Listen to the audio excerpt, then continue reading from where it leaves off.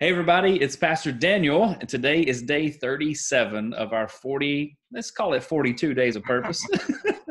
and today's special guest is Nathan. How's it going, Nathan? I am doing well. How about yourself?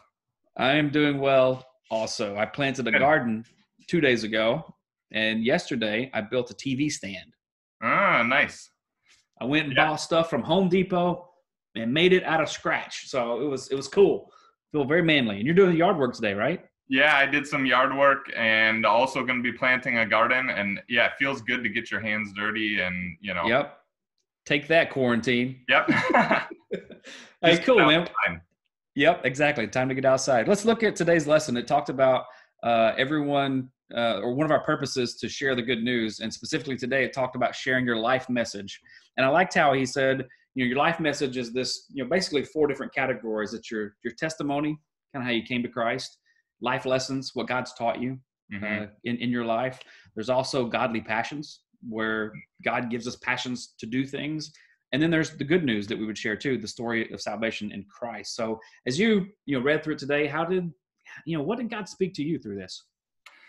Yeah, I think um, one of the things I appreciated is he kind of painted this, um, or or the way that he framed this idea of sharing your life message as being more all encompassing.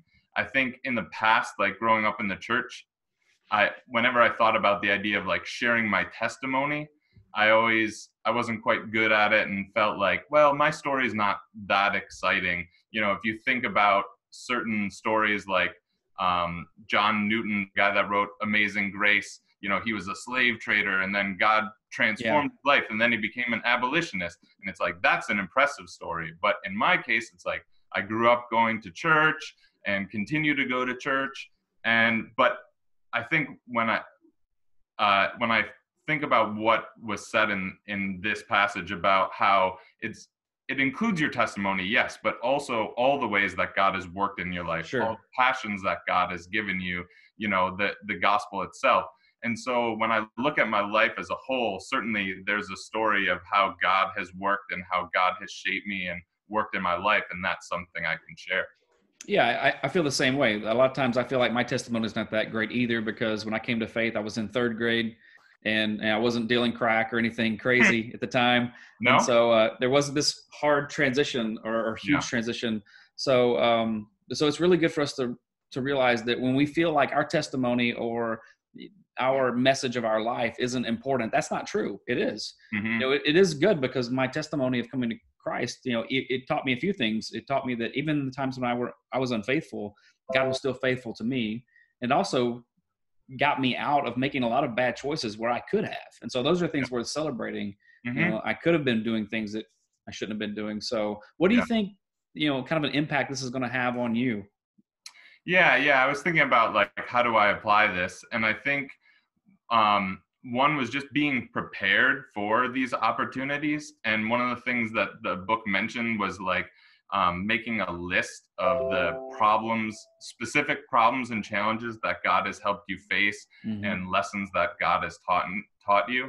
So like i said certainly god has um, worked at my in my life in different ways. I know that there have been times that have been difficult and i feel like you know my faith has has um, or you know god has comforted me yeah. in those times times where i've really been struggling and you know the the gospel brings me hope um, so i think just reflect on those specific examples maybe make a list of so that i'm prepared to yeah. share that's good. I think it's important for us to take time to do that, to consider what's mm-hmm. happened, to think it through, write it down, and even think through the implications of how God was faithful and the lessons we taught. Because when we share it, we can also help others who are struggling go through that that process of finding mm-hmm. peace in the middle of a storm. So uh, that's good, and it just takes some time to to do that. Um, yeah. Hey, give us a closing encouraging word here at the end. Yeah, I think just my encouragement like we've been talking about is that everybody has a unique story and i think looking back at all of this 40 days of purpose there have been some chapters too where it's talked about life difficulties and how you know god um, uses all those things and he's given us abilities he's given us specific yeah. challenges that we've overcome and experiences so i think everybody has a unique story and you know basically you're the, the only one who can share that unique story. Amen. And that's a great way to close. We're out of time. And mm-hmm. uh, I want to remind everyone too, you are the the authority of telling your life message, your, your life's message of how God has ministered to your heart. And people love to hear your stories. Uh, and so let's remember that, that uh, our stories are unique and um, we are to glorify God with those. So let's be ready to share our life message with other people. Hey, Nathan, thank you so much for being here today. That was wonderful. It was great to see you. I'm actually going to go back outside and get some more sunshine. Yeah, maybe I will too. All, All right. right. For everybody else, we'll see you guys tomorrow. Bye. Yep.